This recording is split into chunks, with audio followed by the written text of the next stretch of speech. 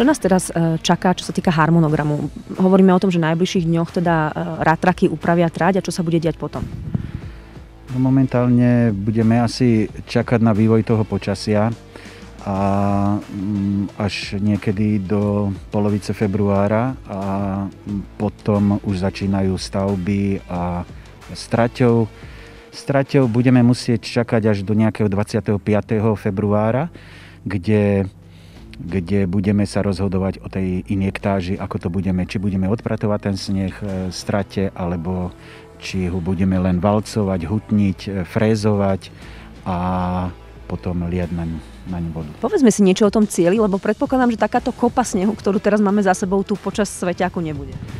Nebude. E, robíme to trošku ináč ako pred e, šiestimi rokmi že ten cieľ bude e, ideálnom, skoro v ideálnej rovine, čo e, nám pomohla hlavne tá depónia, ktorú sme mali z minulého roku uloženú. A ten cieľ by mal byť zase bezpečnejší aj e, lepší pre ukončenie trate, pre pretekáky. Koľko to bude tým ratrakom trvať, aby sa tá trať dostala do takej hrubej úpravenosti?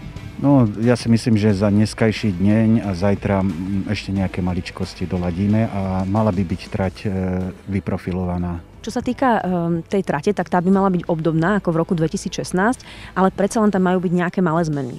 Spomínali sme teda cieľ, skúsme si popísať tie zmeny, ktoré budú oproti roku 2016. Tak e, štart je na Lukovej, tam není žiadna zmena, ale potom nastávajú po štarte asi nejakých 200 e, metrov je prvá terénna nerovnosť, terénna vlna, ktorá by mala e, atraktívniť trať. A druhá terénna vlna je po, štart, po náhradnom štarte, medzi náhradným štartom a štartom slalomu obe sú profilované tak, že sú nie eh, vo vrstevnici, ale sú trošku šikmo. Jedna je z jednej strany, druhá z druhej zase opačným smerom. A potom už len ten cieľ.